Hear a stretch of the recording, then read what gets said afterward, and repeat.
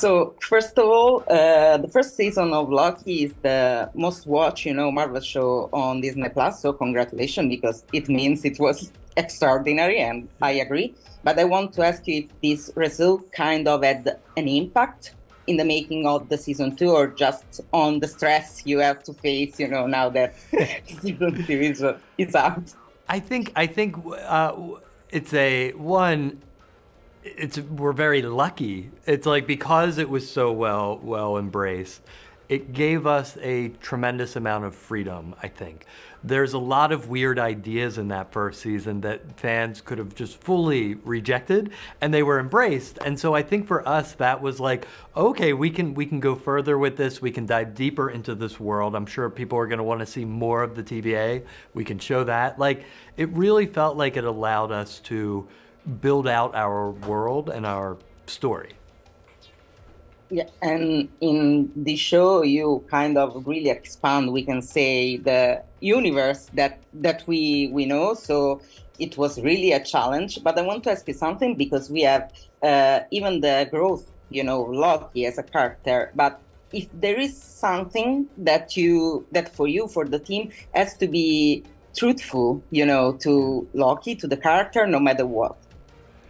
I, I think that's for, for us, you know, as you say, like you're seeing this world grow out. I, I think Loki and then obviously all of our characters have to be the central focus of this story for it to be interesting or to work. So the thing with Loki has been so much of season one was defined by it being a really a, a show about identity. Who are you? What's your place? How do you fit in? Uh, and, and, and season two kind of expands on that.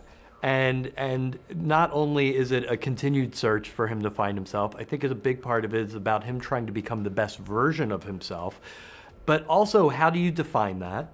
And so much of that could be defined by uh, who the connections you make and and that's how sort of our uh, our, our, very Wizard of Oz like uh, connections among ca uh, amongst characters kind of comes into focus, and and the reason why this is such an ensemble. Yeah, I want to ask you something about the quality of the visual because this show is getting better and better. It is extraordinary. So congratulations to Thank all of you. But I want to ask you if there is some challenge, you know, in trying to make this show really cinematic because I'm always imagining some someone on the bed with a smartphone, you know, watching it. So I want to ask you something about this. With which are the challenges? You have to you you have to prioritize it. It was something that we set out in in, in season one of Loki. Uh, it, we wanted to build sets. We wanted to allow the, our cinematographer to have time to, to really make it, to light these shows and make them look beautiful. We needed to kind of give Christine Wada, our costume designer, the, the room to build these really beautiful costumes in this world. You, you have to prioritize it certainly. And sometimes that just means adjusting schedules so that things can be built. Uh, it doesn't, it usually in our world doesn't mean more money because we're moving at a certain schedule. The money is what the money is. And so it's, it's a lot of times about creative flexibility, building schedules so that you can do that.